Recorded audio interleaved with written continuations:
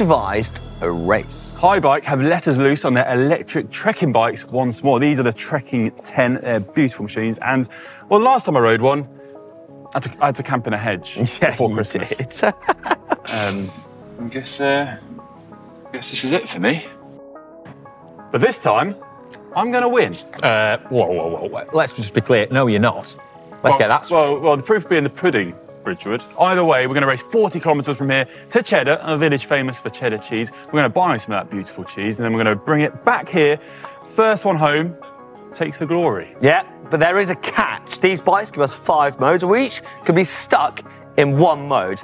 This guy is going to be in eco, that guy in touring, and me, yeah, you guessed it, I'm on turbo!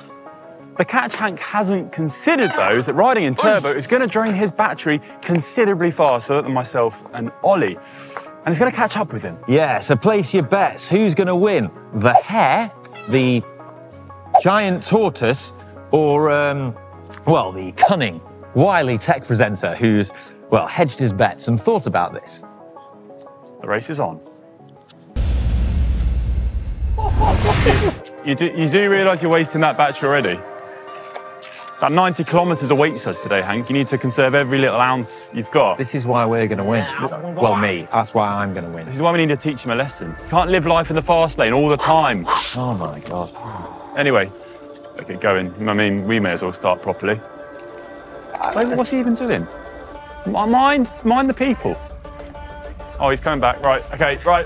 Three, two, one. Engage mode! Bloody hell, Oh. the power. This is where the difference down. First climb of the day. This is where the differences are gonna become apparent. Just toying. Toying. Well, you are losing ground now. This is where you need to make your advantage on the climb. I'll see you later, boys! Adios! As Hank disappears up the climb like a firework on New Year's Eve, it's worth considering the forces at play here. So, as we said, I'm stuck in eco mode. That means I'm around 60% assisted power what I'm putting out through my legs, up to a maximum torque of 40 newton meters. That's the maximum force that the motor can apply to the cranks when I'm pedaling. So I'm going to be able to ride for ages. It's the most conservative mode on the e-bike. However, I am going to struggle on the steeper climbs, which is why I've been dropped already. We've all got the same battery fitted to our Haibikes as well. 625 watt hour battery, which provides enough juice around 208 watts for three hours of riding. Oh, wonder how Hank and Ollie are getting on. They've disappeared from sight already. While my bike has the exact same Bosch motor as the other two, mine is stuck in tour mode, which is kind of an in-between mode in terms of the assistance offered. So I get 140% of whatever I put through the pedals. So if I do, well, 200 watts, that means I'm doing 480 watts in theory, which is cool. Although that is up to a maximum torque of 50 newton meters. Now I'm hoping that this is the sweet spot in terms of battery life and range because giving me more power, my battery will drain a bit quicker than Conor's, but not quite as quick as Hank's. I'm hoping it pays off.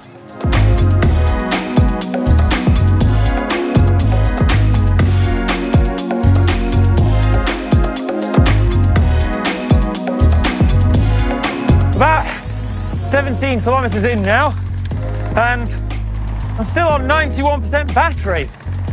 So, I mean, that bodes very well, but also not great because it means that Hank might have actually picked the right option.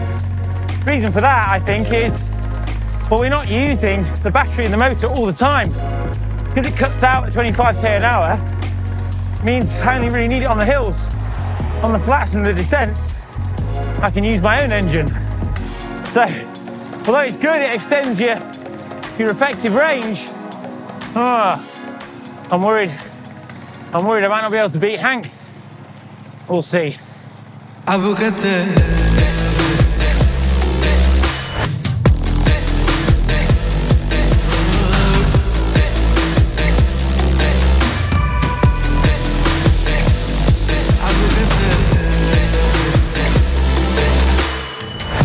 So you're probably wondering where I am. I'm a third of the way into the route, and my battery worrying me is already down 63%.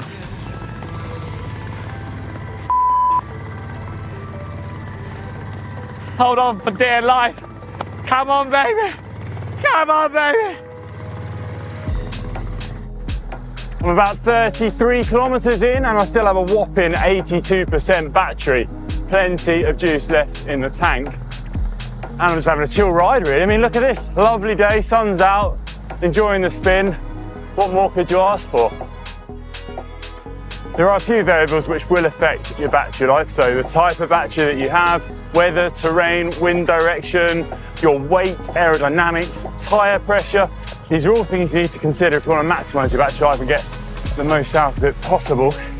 Also, the way you ride, that's a big one. So if you're really aggressive, smashing on those steep climbs, sprinting out of junctions, you're going to drain your battery quicker. This is what I'm counting on with Hank. I'm hoping he's going to do these things so that he drains his battery a little bit more than potentially he could. Hank is many things, you know, he's, he's a nice guy, he's friendly, energetic, playful, generous.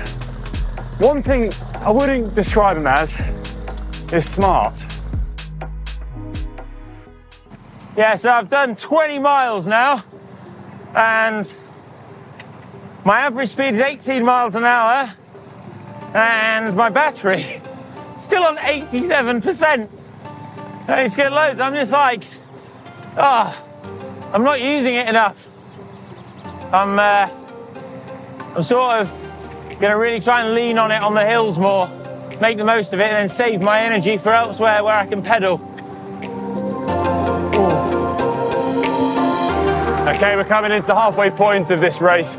Cheddar, famous for its cheese. Looking forward to buying a nice extra mature one for myself. I am partial to a good cheese. It's one of my weaknesses actually, I love cheese.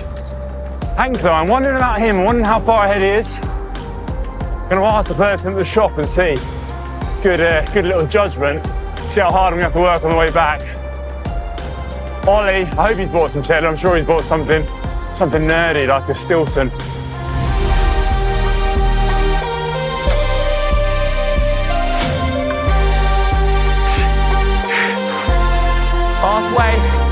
6% battery, and I'm still in front.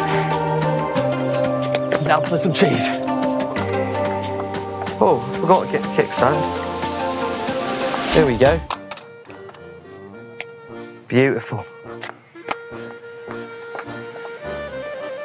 You doing? Um, any recommendations? This one? Bloody hell, do you do a smaller block? Oh, yeah, yeah.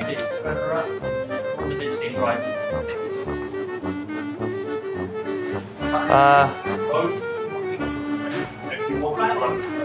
there we go. I want to just get some crackers as well, mate. If we process those. Thank you very much, mate. Take care. And we're off. Cheese still there intact. Turbo still engaged. Currently, it's telling me I've got 35 miles left on my range in turbo mode. I'm just hoping that the gorge isn't going to waste a lot of that power. 60% battery. I just hope it lasts to the end and I don't get passed by Ollie Bridgewood.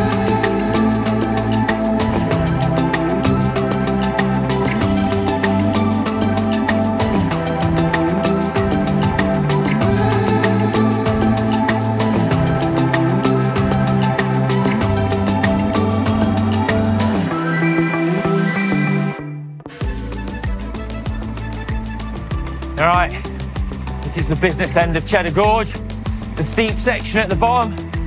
And uh, normally you really feel these steep gradients, but with an e-bike, I mean, I'm still doing over 300 watts here, but I mean, you can go so much quicker. It really can take the, the sting out of it, even in tour mode like I'm in. It's fun.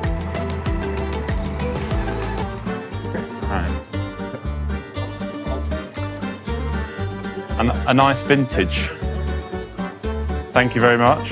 I got a bit peckish as well, so I might have got some uh, crackers and some, some jam. Thank you Uh. I've got a long way to ride home. Looks lovely though, thank you very much.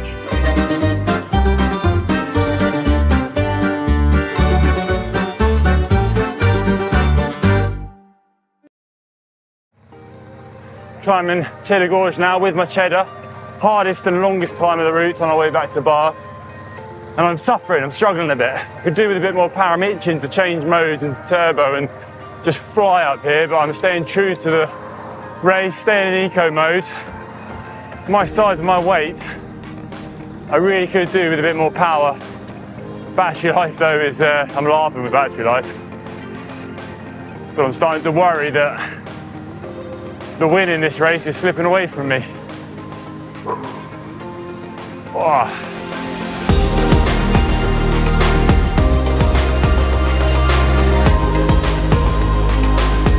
Even after cheddar, my battery life's lost 78%. So, I mean, it's uh, quite impressive like how long they can last. I mean, I think what Haibike's done is been sort of more conservative with the range and, and battery life kind of stats they give. And I think that's that's a good thing because, well, if it means you get fitter and stronger and you have an e-bike, what you're basically doing is uh, extending the range you can go on it, which, well, it's a great thing. I don't really think people talk about e-bikes in that way normally, but I think they should. So currently on 40% battery, going up cheddar, all the way to the top, annihilated my battery. But I'm hoping that it's given me a big advantage over the others. I just hope my turbo mode hangs on. The last thing I want to be doing is be left with too far to go with a battery that weighs a bit, well, more than my block of cheese, let's just say that. Is my block of cheese still there? Yeah, thank God.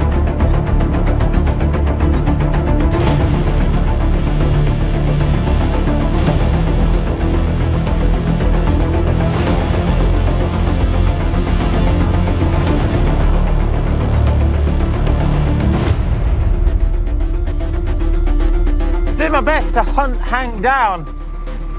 I can't see him in the distance. I think, considering how much battery life I've got left, I think Hank might have actually got the best option of going in ultra mode. But I'm doing my best. Come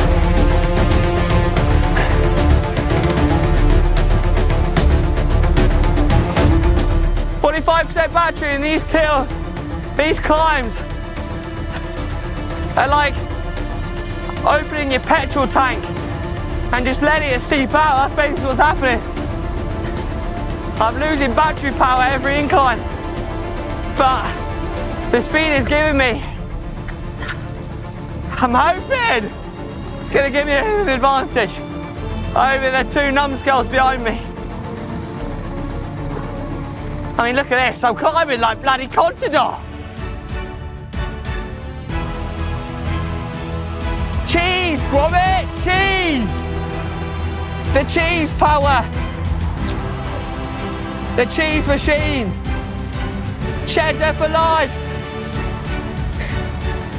It's also made my jersey smell a bit better.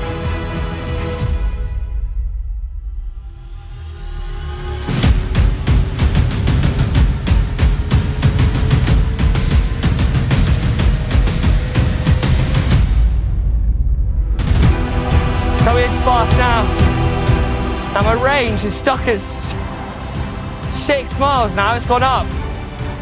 Dropped down when I was hitting those climbs, one after the other. But because it's plateaued now, I haven't been using the full extent of the motor. I've got to say, I am amazed that I've done 56 miles in turbo mode and I'm still got five miles to go which is utterly insane. I think those two lads, they underestimated the power of the Haibike.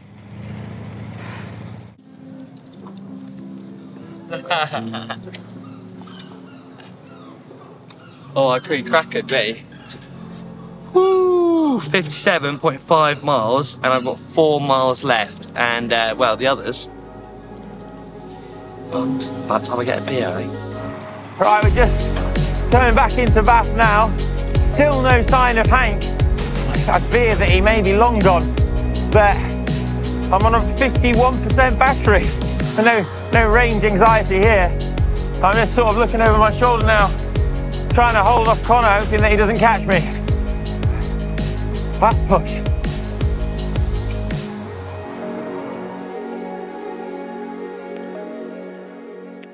Yeah, it doesn't matter. No, I've got them both. Ah, here he is. How long you been here? Oh, mate, ages. What time? Ages. 424 I got here. All right, Ages. So, well, about five minutes ahead of me. Ages. Five Enough to, for me to have half a pint. Fair Oh, play, right. mate. Actually, that was. Yeah. That- I thought I'd be further than that. How much battery have you got left? That's the big one. I thought you were going to run out. You run out? Mm, I was pretty close. 14% left. What about you?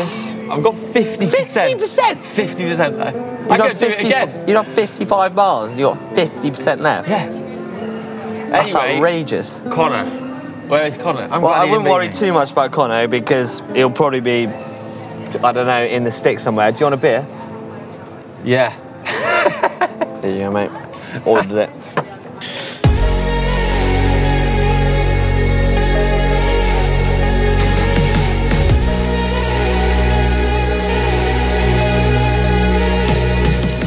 Look at that. I go for a swim. Hey, uh, say hello to my fellow cyclists. Oh,